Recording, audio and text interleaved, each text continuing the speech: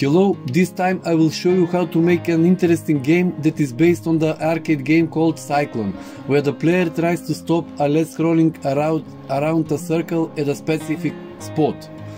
The goal, of, the goal of the game is to stop the cycling light when it reaches the indicated, in our case red LED. If successful, the difficulty level will increase.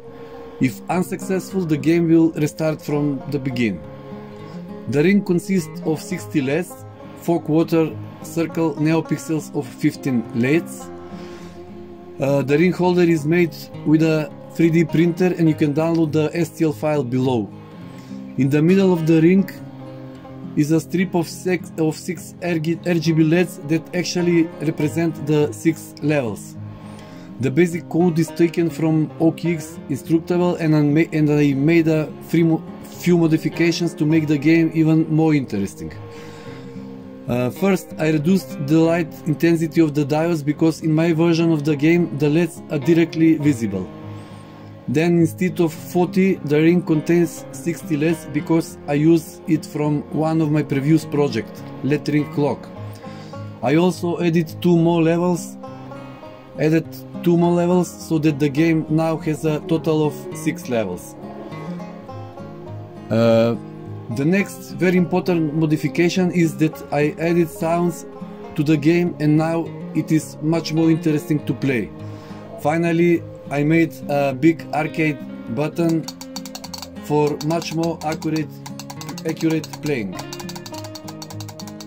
The game would need to be powered uh, by a power supply of 5 volts 3 amperes or more. This is a very simple project and consists only a few components. Arduino Nano microcontroller, WS2812 LED ring with 60 LEDs, uh, WS2812 LED strip with 6 RGB LEDs, one transistor, couple of resistors, buzzer, and do it do it yourself big arcade but arcade button.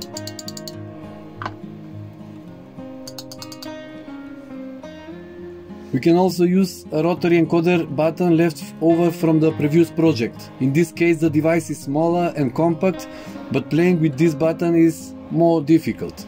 And now let's see how the device works in reality. When turning on the game, all LEDs light up with different colors. Now by, press, by pressing the button, the game begins.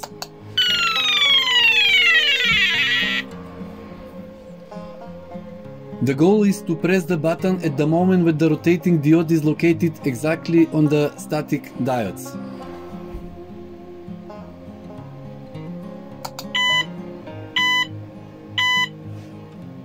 Now next level. In the first two levels, uh, three uh, in the first two levels, three diodes are statics, and in the next levels, only one.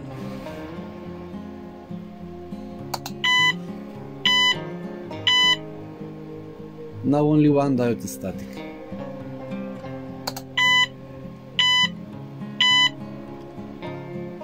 With each completed level, one diode from the horizontal for a horizontal row lights up.